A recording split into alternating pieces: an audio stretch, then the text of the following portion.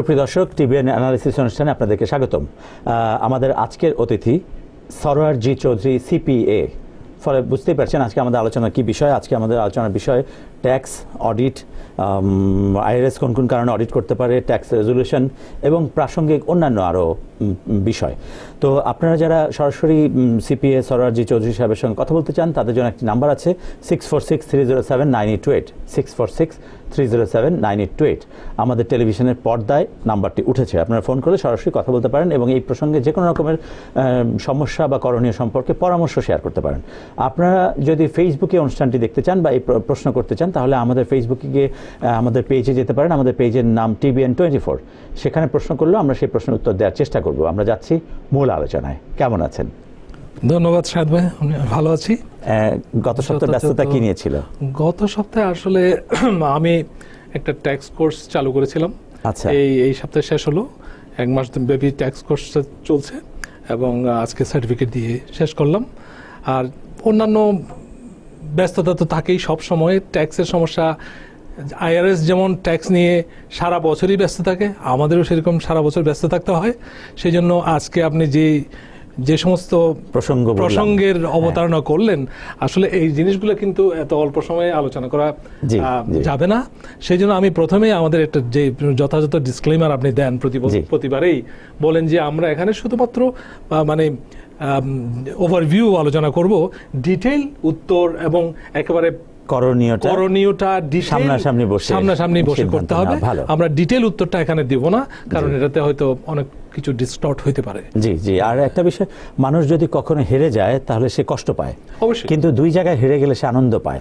এক হচ্ছে যদি সন্তানের কাছে হেরে যায় আর দুই হচ্ছে যদি সে ছাত্রের কাছে হেরে যায়। তো আপনি যাদেরকে ছাত্র বিষয় তৈরি করছেন তারা নিশ্চয়ই আরও বেশি দূর এগোবে। এগোবে। আমি আশা করি তারা সামনের দিকে যাবে তারা নতুন নতুন জিনিসগুলো শিখবে। আমরা বিশ বছর আগে যে সমস্ত তথ্যের উপর ভিত্তি করে আমরা ট্যাক্স রিটার্ন প্রিপেয়ার করতাম আজকে তাদের হাতে অনেক নতুন উপকরণ অনেক নতুন জিনিস তাদের টেকনোলজি অনেক অ্যাডভান্স তাদের রিসার্চের ম্যাটেরিয়াল অনেক অ্যাডভান্স আমরা যখন নতুন নতুন ট্যাক্স রিটার্ন শুরু করি তখন আমরা লাইব্রেরিতে গিয়ে বই খাতা ঘেটে ট্যাক্স রিটার্ন প্রস্তুত করতাম। এখন কিন্তু হাতের টিপ গুগল দিয়ে আপনি বাইর করতে পারছেন আইআরএস ওয়েবসাইটে গিয়ে বাইর করতে পারছেন তথ্য এবং কি কারণে কি হইতে পারে। যেমন ধরেন আপনি যে অবতারণা অবতারণা করছেন যে ট্যাক্স রিজলিউশনটা কি?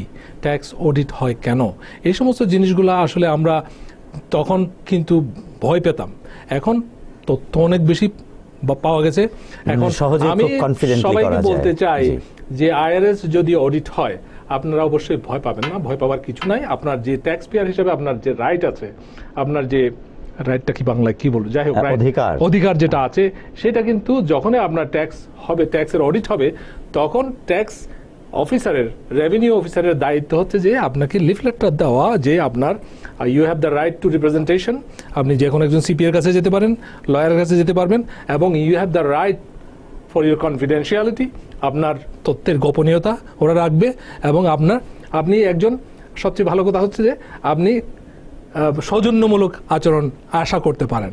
এটা হচ্ছে আইআরএস গ্যারান্টি দিচ্ছে যে কোনো রেভিনিউ অফিসার যদি আপনার সাথে অসৎ আচরণ করে তাহলে কিন্তু আপনি কমপ্লেন করতে পারবেন।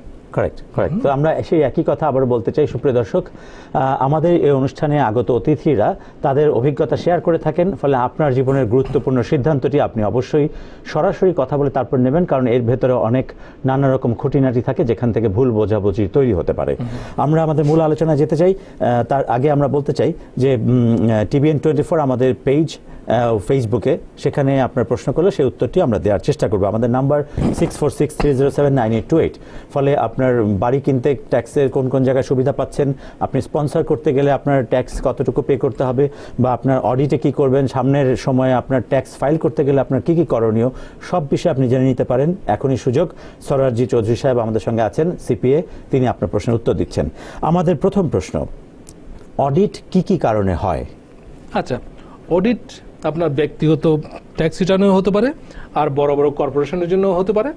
প্রথমত অডিট হয়, বিভিন্ন কারণে অডিট হতে পারে। প্রথমত আমরা বলতে পারি যে ইনকাম ডিসক্রিমিনেশন যেটা বলে যে ইনকামের প্রতি আগের বছরগুলোতে সে তার একটা প্যাটার্ন হয়ে গেছে যে ইনকাম গোপন করেছে অথবা ইনকাম অত্যন্ত ডিস্টর্ট করেছে।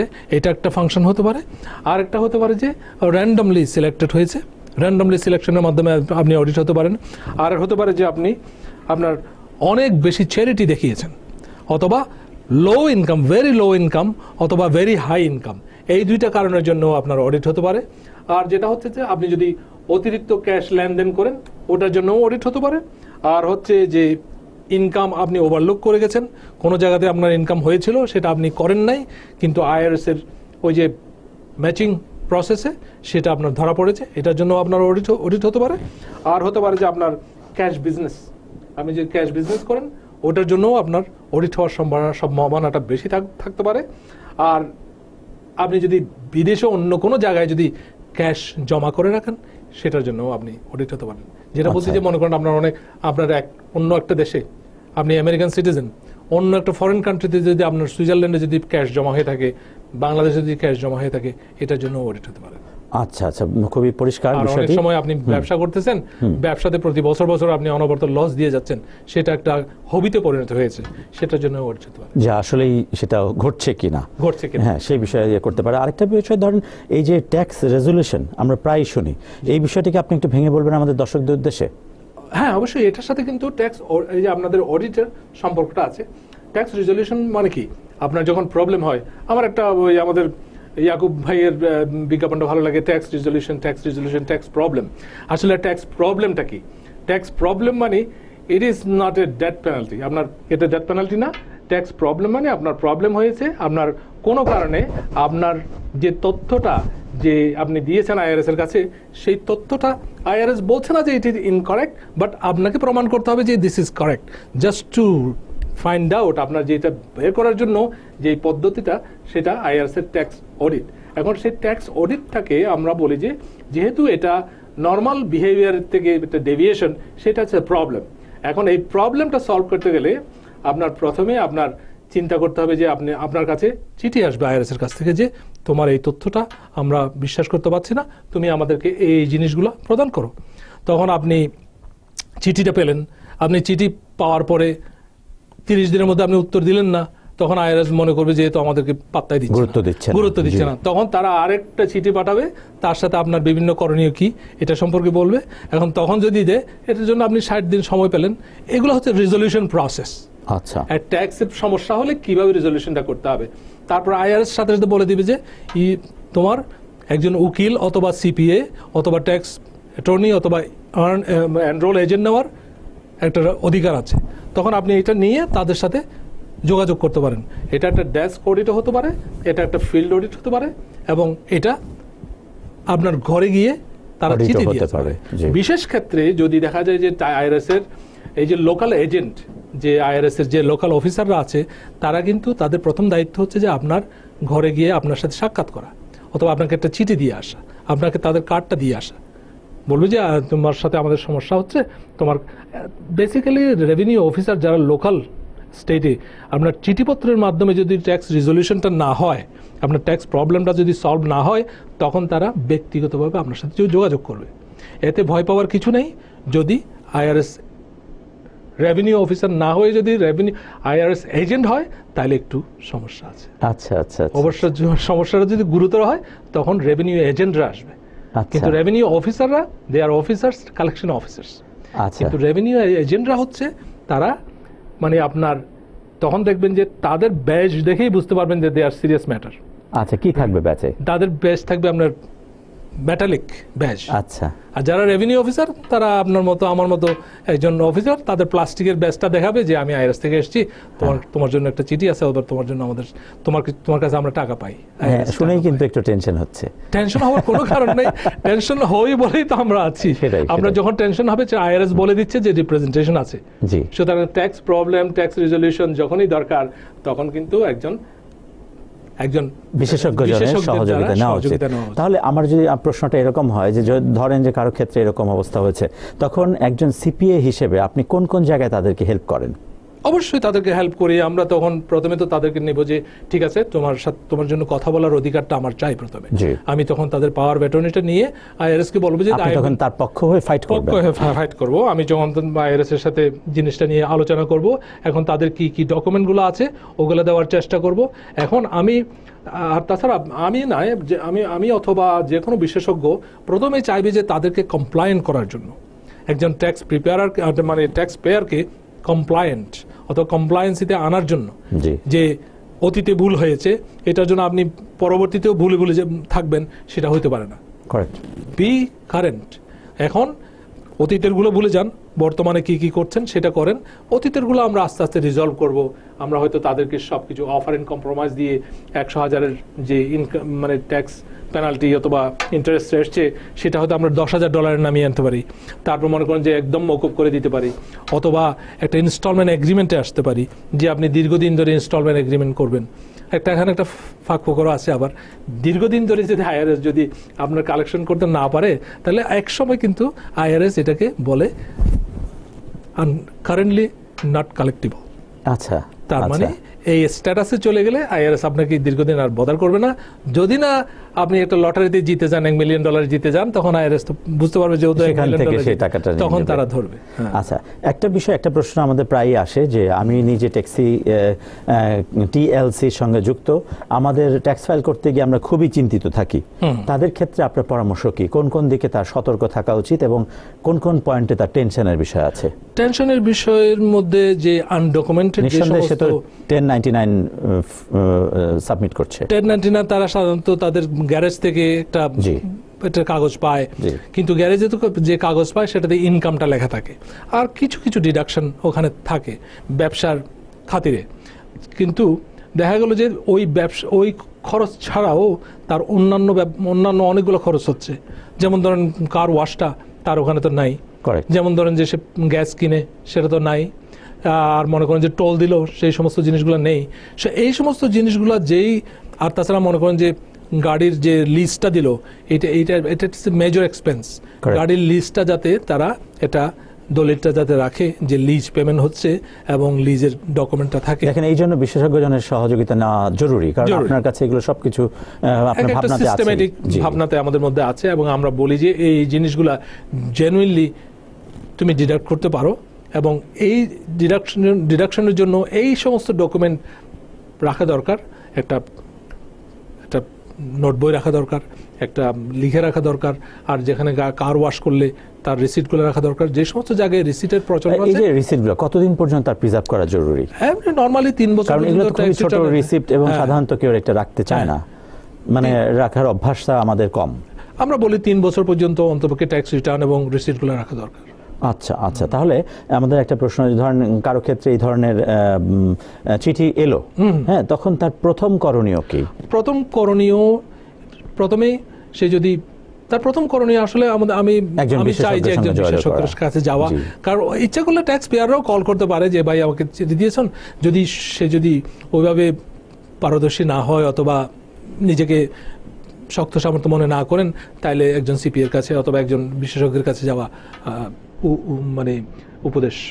আচ্ছা এক্সামশান এবং অন্যান্য যে প্রসঙ্গগুলো আছে আমাদের একজন প্রশ্ন করেছিলেন যে আমার সন্তান সহ আমরা কি কি ধরনের মেরিট ফাইলিং জয়েন্টলি এবং সেপারেটলি যদি হয় কি কি ধরনের সুবিধা আমাদের এখান থেকে পার্থক্য হতে পারে? এটা কি একটু সংক্ষেপে বলা যাবে?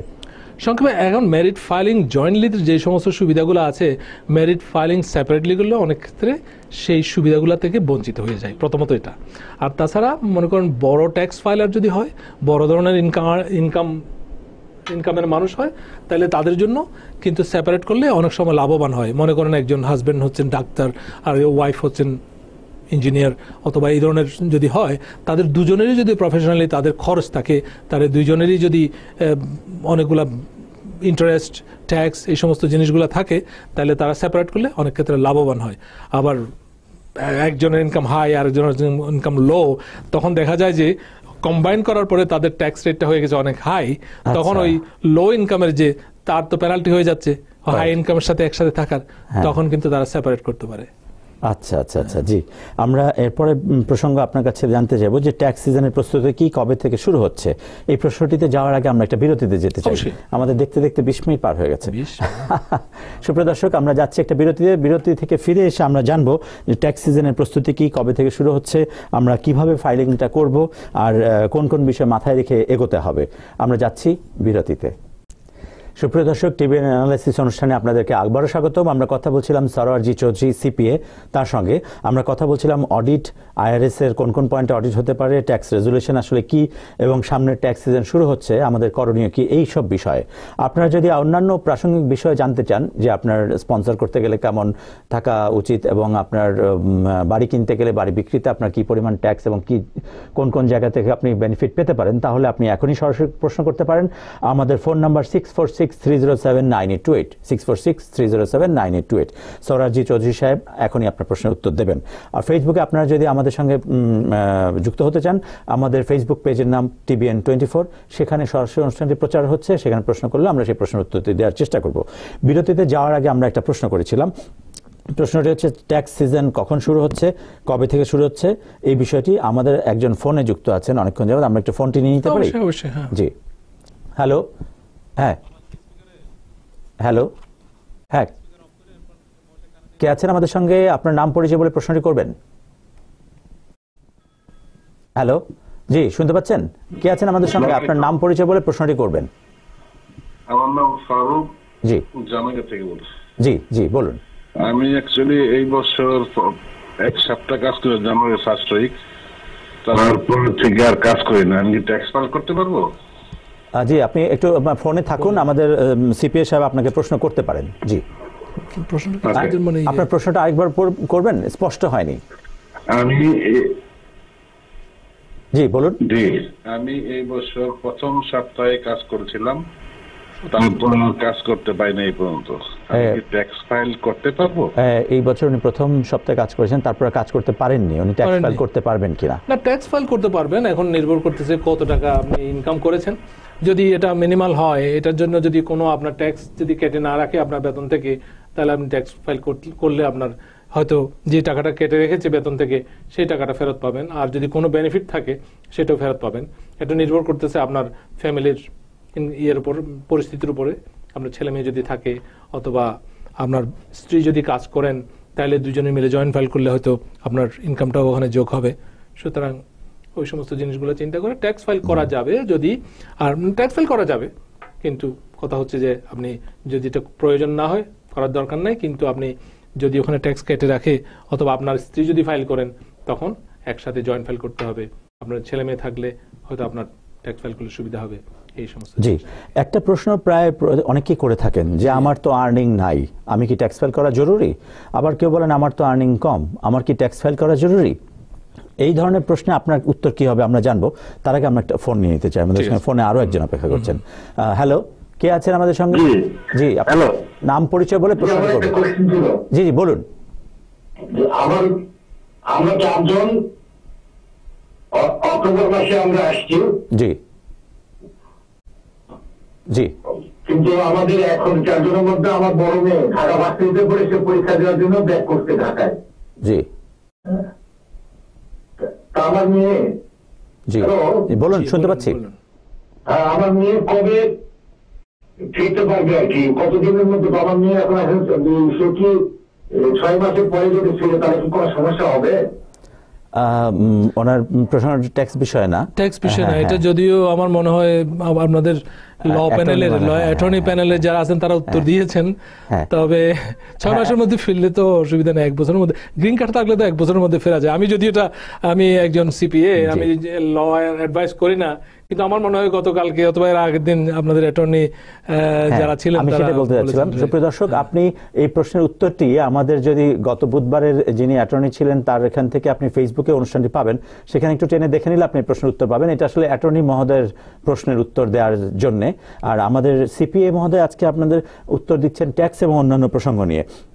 যে প্রশ্নটা আপনাকে আমরা করেছিলাম মাঝখানে যে ধরেন অনেকেই বলেন আমার তো ইনকাম নাই। আমার কি ট্যাক্স ফাইল করা জরুরি কিনা? আবার অনেকে বলেন যে আমার তো ইনকাম কম আমি কি ট্যাক্স ফাইল করা জরুরি কিনা? প্রতি বছর ট্যাক্স ফাইল করা কতটুকু জরুরি? ট্যাক্স ফাইল করা আপনার ইনকাম না থাকলে তো আপনি জোর করে ইনকাম দেখাতে পারবেন না। আর তাছাড়া জিরো একটা ফাইল করার প্রয়োজন পড়ে না। যদি আপনার ট্যাক্স রিটার্ন কেন করেন নাই সেরকম যদি কাগজের দরকার হয় যেমন ধরুন আপনি আপনার ভাইয়ের জন্য স্পন্সর করছেন। আপনার তিন বছরের ট্যাক্স রিটার্ন দেখাতে হচ্ছে। আপনার দুই বছরের আপনি ট্যাক্স ফাইল করেছেন। প্রথম বছরে আপনার আপনার আপনি ফাইলই করেন নাই।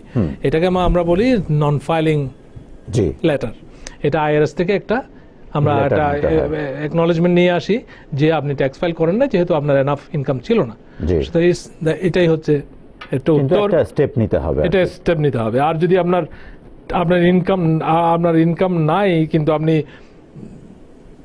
তথ্য ভুল তথ্য দিয়ে ইনকাম দেখিয়ে করলেন সেটা সমর্থনযোগ্য নয়। জি জি। যে কোনো কিছু আসলে সঠিক তথ্যটি দেওয়াই জরুরি। আমাদের সঙ্গে ফোনে আরেকজন আছেন। হ্যালো কে আছেন আমাদের সঙ্গে? আপনার নাম পরিচয় বলে প্রশ্নটি করবেন। আমার নাম গুলাম মোহাম্মদ সেলিম। জি বলুন সেলিম ভাই। জি সেলিম ভাই বলুন। আমাদের এখানে উপস্থিত সিপিএম মহোদয় শুনছেন। আমি নতুন আসছি। আমার ইনকাম তেমন নাই। আমাকে ট্যাক্স ফাইল করতে হবে। জি শুনুন আপনার প্রশ্ন হ্যাঁ। উত্তরে শুনুন। ইনকাম তেমন নাই মানে আপনারা এখন কত টাকা ইনকাম একেবারে না থাকলে তো করার দরকার নাই সামান্য থাকলেও আপনি যদি অন দা বুকে কাজ করে থাকেন আপনার বেতন থেকে যদি ট্যাক্স কেটে রাখে তাহলে আপনি ট্যাক্স ফাইল করলে অন্তপক্ষে যে টাকাগুলো যে কেটে রাখল সেই টাকাটা ফেরত পাবেন। সেই জন্য আমার মনে হয় ট্যাক্স ফাইল করাটা জরুরি। হ্যাঁ। জি আমাদের সঙ্গে ফোনে আরেকজন আছেন। হ্যালো হ্যাঁ কে আছেন আমাদের সঙ্গে? ফোনে আপনার নাম পরিচয় বলে প্রশ্নটি করবেন আসসালামু আলাইকুম ওয়ালাইকুম আসসালাম। নাম দেলোয়ার মোহাম্মদ মিঠু। জি। আমার প্রশ্নটা জি। আমরা শুনতে পাচ্ছি বলুন। শুনতে পাচ্ছেন আমার নাম দেলোয়ার মোহাম্মদ মিঠু। জি। আমার প্রশ্ন সিপি সাহেবের কাছে। জি। জি। আমার একটা ছোট বিজনেস আছে। জি। ছয়জন এমপ্লয়ি আছেন। এবং আহ, আমি গত আহ, যে আমাদের পেরোল ট্যাক্স পাঠাতে হয় কোয়ার্টারে ওই লাস্ট কোয়ার্টারের আগে আমার ওয়ার্কার কাম্প ইন্স্যুরেন্স শেষ হয়ে গেছে। ওকে এবং ওইটা আমি যে ব্রোকারের থ্রুতে free mistake he didn't do it so ওইটার জন্য কি আমার এই কোয়ার্টার যে শেষ হবে তারপরে যে আমি ট্যাক্স কি বলে পেরোল ট্যাক্সটা পাঠাবো সেই ক্ষেত্রে কি আমার কোনো পেনাল্টি হওয়ার সম্ভাবনা আছে কিনা? অথবা আমার আমি কীভাবে এটা রিজলভ করতে পারি? আপনার প্রথমত আমার আমার যেটা পরামর্শ সেটা হচ্ছে আপনি প্যারোল বন্ধ করার কোনো প্রয়োজন নাই। আপনি প্যারোল চালিয়ে যাবেন যেহেতু আপনার এমপ্লয়ি আছে। আর যত সম্ভব তাড়াতাড়ি আপনি ইন্স্যুরেন্সটা আবার রিকভার করেন। যদিও আমার মনে হয় ওই কিছুদিন গ্যাপের জন্য আপনার কাছে একটা চিঠি আসতে পারে যেহেতু ডেলি দশ টাকা অথবা এই ধরনের একটা ইয়ে আসে। এটা যদি আপনি ইয়ে করতে চান তখন একজন বিশেষজ্ঞের কাছে আসবেন আমরা চিঠিপত্র লিখে অনেক সময় এগুলো মৌকুব করতে পারি। জি ধন্যবাদ। আমার মনে হয় আপনি হ্যাঁ। আপনার প্রশ্নের উত্তরটি পেয়েছেন। তবে আপনি আপনার যেটা কমপ্লায়েন্স রিপোর্ট যেটা আছে সেটা করবেন। না ওটা না ওটা করলে আপনি দেখা গেল যে আপনার ইন্স্যুরেন্স নাই সেই ক্ষেত্রে আপনি একজন অপরাধী বলব না একজন নন কমপ্লায়েন্ট আবার প্যারোল না দিয়ে আরেকটা সমস্যার মধ্যে পড়ে যাবেন। সুতরাং কন্টিনিউ করেন আপনার ব্যবসা আর আর ওয়ার্কম্যান কমের যদি কোনো চিঠিপত্র আসে তখন একজন বিশেষজ্ঞের সাথে যোগাযোগ করে এটা জি। কাটিয়ে নেওয়ার ব্যবস্থা করা যায় আমার মনে হয় আপনি দ্রুত বিশেষজ্ঞ জনের সঙ্গে সামনে সরাসরি কথা বলাই ভালো। সেটাতে আপনার বাকি সমস্যাগুলো সমাধান হয়ে যাবে। আমাদের সঙ্গে ফোনে আরেকজন আছেন। হ্যালো কে আছেন আমাদের সঙ্গে ফোনে? জি। জি বলুন আমরা আপনার প্রশ্ন শুনতে পাচ্ছি কথা শুনতে পাচ্ছি বলুন। আমি আমি একটা বিজনেস করি। জি। তো আমি ওখানে স্টোর ম্যানেজার হিসেবে আপনার ইয়ারলি আপনার twenty four thousand dollar drop okay এখন প্রশ্ন হচ্ছে আমি কি twenty four thousand dollar income দিয়ে কি আমি বাড়ি কেনা বা এসব করতে পারব? জি ধন্যবাদ। আপনি শুনুন। ধন্যবাদ। প্রথমে আমার একটু হিংসা হচ্ছে যে আপনি এত সুন্দর জায়গায় ফ্লোরিডাতে আছেন আমরা এখানে ঠান্ডায় মরে যাচ্ছি কিন্তু আপনি চব্বিশ হাজার টাকায় বাড়ি কিনতে পারবেন। বাড়ি না কেনার ফ্লোরিডাতে বাড়ি কিনতে না পারার তো কোনো মানে হয় না। আপনি যদি অর্থ জমা করে থাকেন কিছু ক্যাশ যদি জমা করে থাকেন ডাউন পেমেন্টটা বেশি করে দেবেন, চব্বিশ হাজার টাকা আপনি, আমার মনে হয় এটা হচ্ছে আপনার পার্সোনাল প্রেফারেন্সের ব্যাপার। ছোট বাড়ি হলে আপনি চব্বিশ হাজার টাকা ইনকাম থাকলে ল্যান্ডার যদি আপনার ক্রেডিট রিপোর্ট ভালো দেখে, তাহলে বাড়ি অবশ্যই আপনি ইয়ে করতে পারবেন। আর তাছাড়া অনেকগুলো প্রোগ্রাম আছে, আমরা শুনি। যদিও আমি ল্যান্ডিংয়ে নাই অনেকগুলো প্রোগ্রাম আছে যেখানে যেখানে আপনার নো ইনকাম চেক এবং আপনি একজন সিপিএর লেটার দিয়ে আপনি প্রমাণ করতে পারেন যে ইউ আর হার্ড ওয়ার্কার আপনি ভালো কাজ করতেছেন এবং আপনি যথেষ্ট ইনকাম করেন। ওই ধরনের চিঠিপত্র দিলেও আজকাল লোন পাওয়া যাচ্ছে। সুতরাং হতাশ হওয়ার কিছু নাই, আমার মনে হয়। আর যদি আপনি যদি তবু যদি প্রথমে একটা, প্রথম প্রশ্নটা আমার একটু ইয়ে লাগছে যে আপনি ব্যবসা করেন, আপনি কি চাকরি করেন নাকি এটা আপনার ব্যবসা?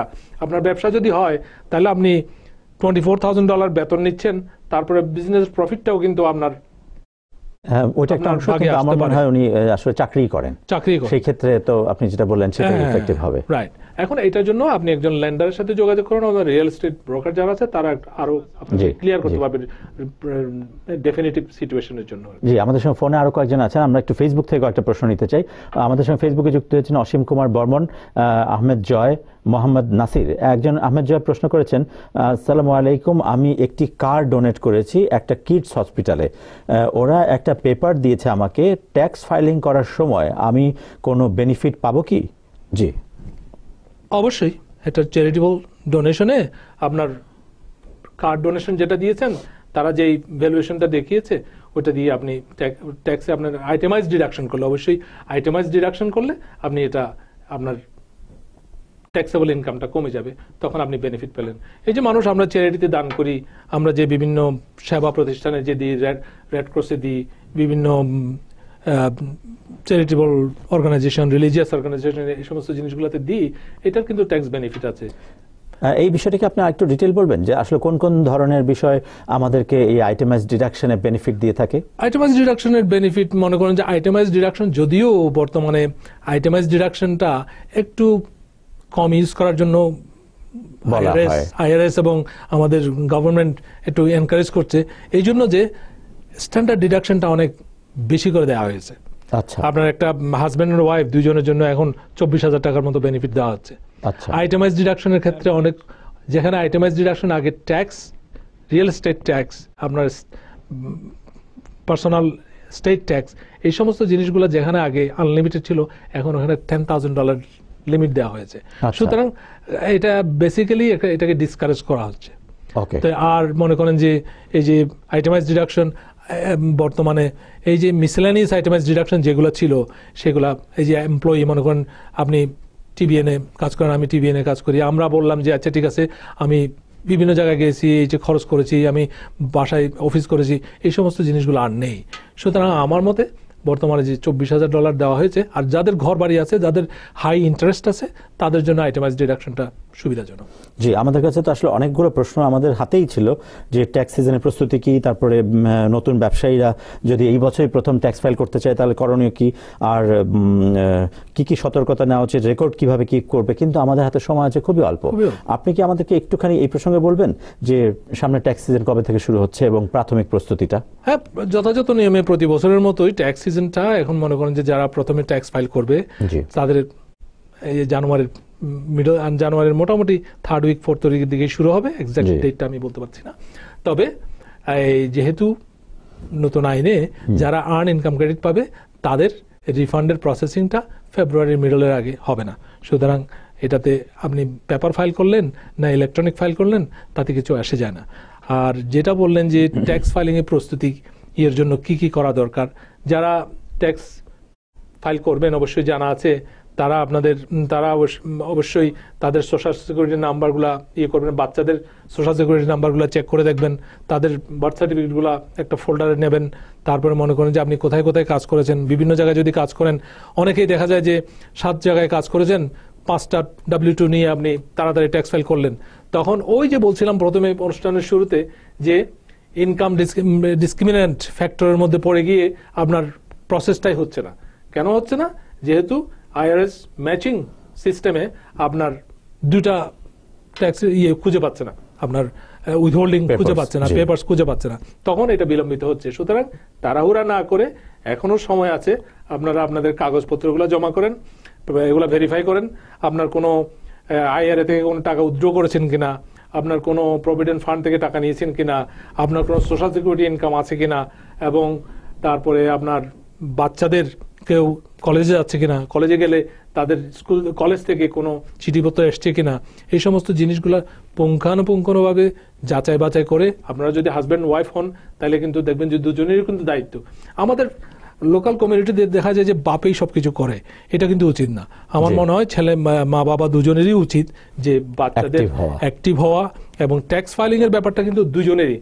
যখন এটা কোনো লাইবিলিটি আসবে তখন দেখবেন যে দুজনের নামেই চিঠি আসবে।